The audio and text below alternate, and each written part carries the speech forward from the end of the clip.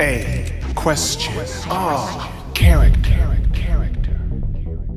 Banjo and Kazooie have the strongest adventure friendship to ever exist. Adventure Punch. Adventure Peck. An unbreakable bond, but not unbreakable legs. Fortunately, Honey Energy allows them to continue. That Banjo and Kazooie share as one. Sticky, tasty honey energy. Banjo and Kazooie collect the healing nectar. In a land of collectibles, everything is collectible. Musical notes, sarcophagus eggs, fartable eggs, flight feathers, and most importantly, puzzle pieces of shimmering gold, allowing for worldly travel. However, Banjo and Kazooie do not travel between worlds for entertainment, but instead for heroic purposes. Tooty, sister of Banjo the bear, desired by all, especially the ugly. Gruntilda. A horrid green witch speaking within rhyme. Gruntilda seeks to steal Tooty's enchanting life force, trading it for ugly over Banjo's furry body and Kazooie's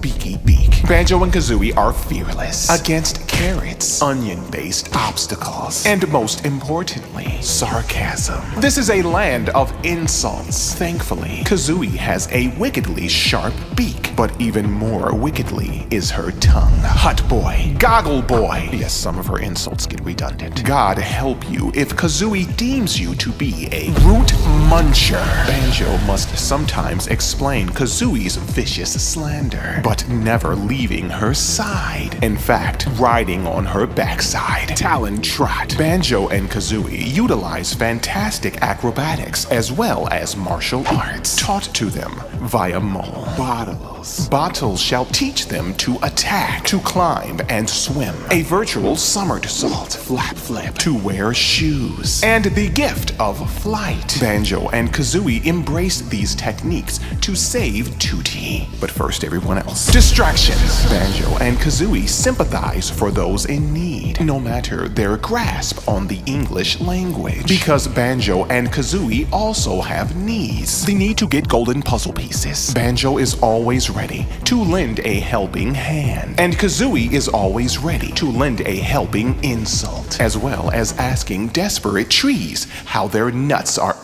Because of their assistful nature, many offer assistance, such as Gruntilda's much lovelier sister, Brentilda. Gloop. Gloop give air. Thankfully, fur and stylish casual wear protect Banjo and Kazooie from water and other elements, as well as poop-filled elements while they are a pumpkin. But why are they a pumpkin? Mumbo Jumbo. Mumbo Jumbo is a shaman providing transformative powers after being paid via skull token. Banjo keeps those that he loves close via picture or blue backpack. Banjo wears this to assist with Kazooie's travel, but she can walk. We already showed you. Banjo wears bright yellow shorts held conservatively with a black belt as well as a shark tooth, offering no powers but definitely providing fashionable style for a bear. Kazooie, a red feathered Breegull, cares not of fashion, or for that matter, feelings. Book boy. Banjo and Kazooie share a combined life force, as well as combined lung capacity for swimming. Their enduring friendship ending together, never alone if succumbing to their injuries. So they must avoid injury and instead injure others. Crush the inept turtle children for their puzzle pieces, Banjo. This is a land of collectibles. Power. Excellent. Banjo is a kind-hearted bear